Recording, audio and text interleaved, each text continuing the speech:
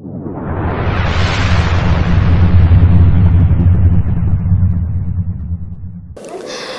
Il se passe toujours quelque chose en République démocratique du Congo, surtout dans la capitale, qui n'est rien d'autre que la ville de Kinshasa. Alors, chers internautes, bienvenue dans votre émission Commentons l'actus. Commentons l'actus signifie que nous analysons l'actualité qui se passe dans notre pays. Aujourd'hui, chers internautes, nous, l'équipe de Commentons l'actualité congolaise, sommes descendus sur, sur terrain, pardon, justement pour interviewer un membre du PPRD, lui c'est M. Gislain Loubaba, qui a répondu aux questions par rapport à l'affrontement qui s'est tenu hier au Palais du Peuple, pendant que les autorités congolaises étaient à l'intérieur pour la présentation du programme d'action du gouvernement par le Premier ministre Sylvestre Ilunga.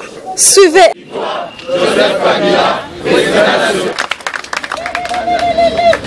Au nom du secrétaire permanent, vous dire merci pour votre disponibilité hier. Moto.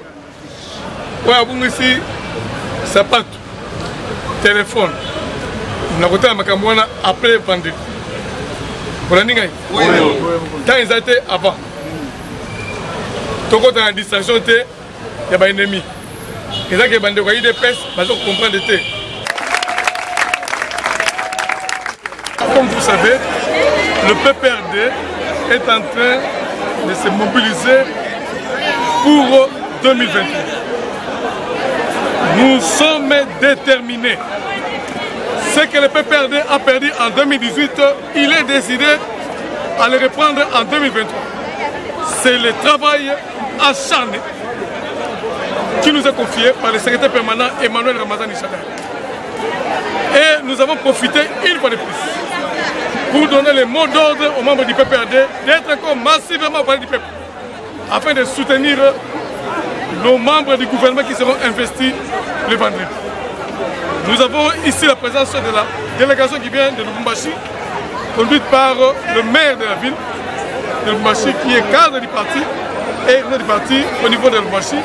Il va aussi vous dire un mot. Euh, très heureux d'abord d'assister à cette formation idéologique dispensée par l'imbattable euh, chef du département de mobilisation, la personne du camarade Douné Akilanga.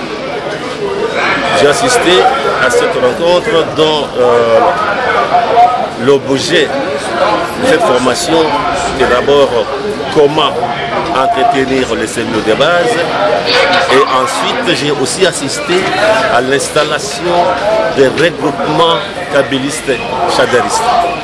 J'ai constaté que euh, le siège est toujours en mouvement. C'est ce que je voudrais aussi qu'on je puisse faire aussi de même dans la ville de Lombashi, de rendre le PPRD plus fort qu'avant, plus rayonnant qu'avant.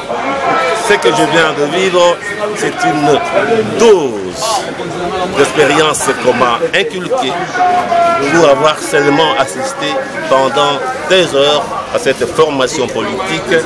Ça me rend encore très très fort, très dévoué et très loyaux. Parce que la famille politique reste une famille politique. C'est une école d'excellence. Et ce que j'ai vécu ici, c'est une leçon que je dois partager avec les miens dans la ville de Lumbashi, avec les miens de ma famille politique, le grand parti politique qui est le PPRD. S'il y a eu cet affrontement, c'est par manque d'idéologie politique. Normalement, le cadre des partis politiques ne doivent pas régler leurs litiges par la force. Nous, notre force, ce sont les élections. Nous nous préparons toujours pour aller euh, aux, aux élections et gagner les élections. Aujourd'hui, cette formation, c'est toujours l'objectif, c'est pour gagner les élections. La mobilisation qui s'est faite nuit et jour dans le cadre de recrutement, dans le cadre de la mobilisation, c'est toujours pour la finalité gagner les élections législatives, présidentielles que nous avons perdues pour cette année 2018. Mais l'année 2023 nous nous préparons déjà.